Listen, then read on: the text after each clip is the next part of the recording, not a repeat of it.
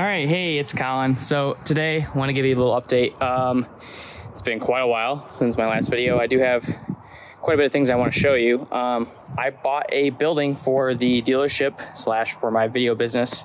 Uh, you can see my van here, and you can see some of my cars.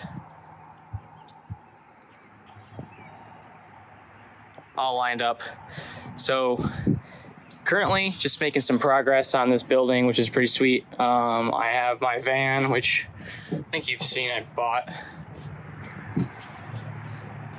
A lot of video production gear. But uh, let me show you these cars. So going back to the old days of the channel, this is my 535 IS. I bought this from my buddy Adam. I've been obsessed with this car for a long time. Finally found it again after it was sold and then resold and fixed. And anyways, I own it now. Fantastic. Now we're back to making some E28 content, which is what I will do now that it's summertime.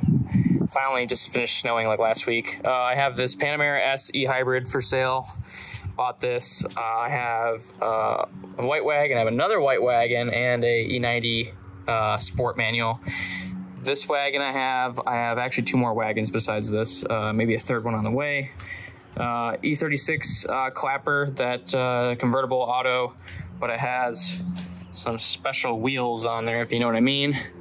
Uh, X3 SI. I had an M Sport earlier, and I love the M Sport compared to this. And I have a Sprinter van with like no miles that I keep uh, my production gear in. And let me show you the building here.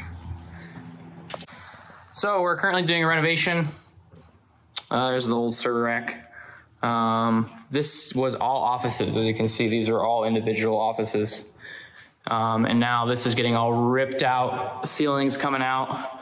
And uh, yeah, it's gonna be quite impressive. But look, I mean, this is gonna be all the way up to the ceiling worth of space for my shop.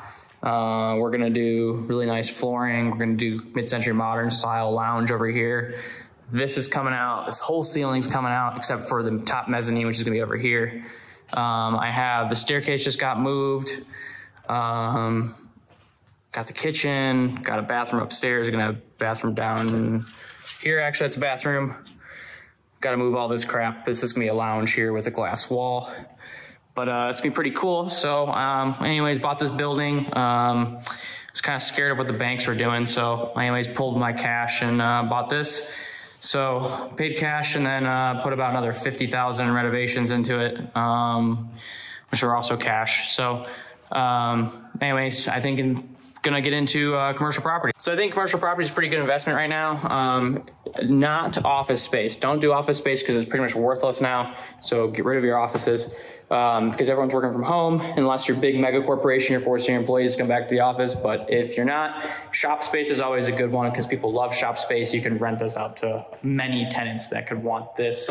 Um, I might have a tenant in here potentially, but I also just really want this space for myself as a creative space slash as a uh, place for my car dealership um, so I can sell uh, older BMWs. Make sure to follow uh, Das Auto Dealership on Instagram to kind of see what some of my vehicles are. Um, I have some really nice low mileage cars, got some kind of specialty stuff that I buy.